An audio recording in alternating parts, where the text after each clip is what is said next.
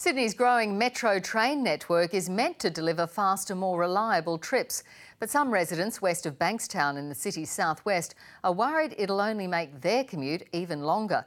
That's because 13 existing train stations will be converted to a metro, forcing some passengers to change trains several times a day. The Southwest Metro is promising more reliable trains from 2024. Between Sydenham and Bankstown, old tracks will be converted to a driverless system isolating two western lines severed by the new metro. Transport activists say that means slower journeys for 20,000 commuters who lose direct services to the CBD.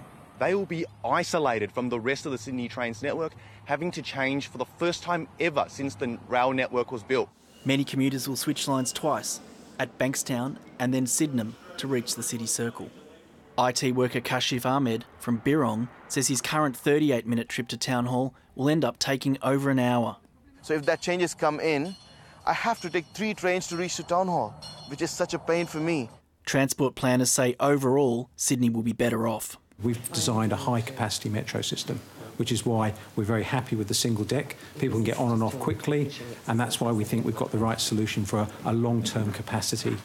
But Sydney University argues more than 3,500 students and staff who travel to Redfern Station each day face up to 26% longer travel times each way.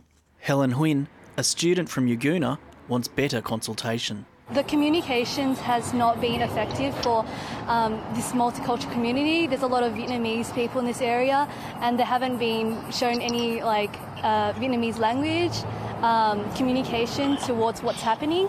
The government says it's also exploring new options like rail shuttle services. We will provide a rail service.